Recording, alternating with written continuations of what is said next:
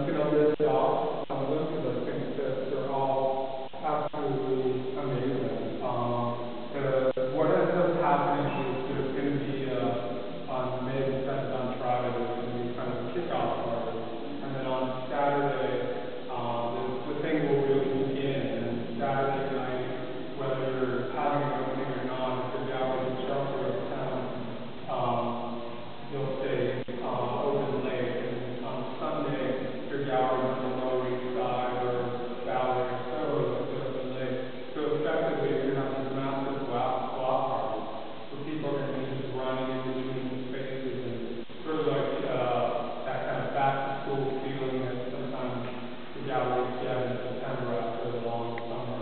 But some